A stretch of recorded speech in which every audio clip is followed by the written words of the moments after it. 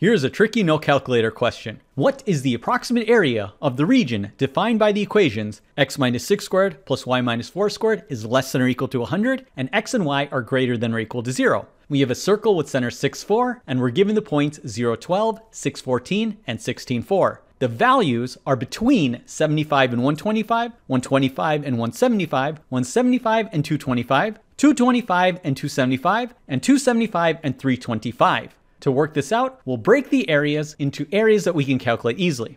We have a quarter circle with a radius equal to 10, so that'll be pi over 4 multiplied by 10 squared.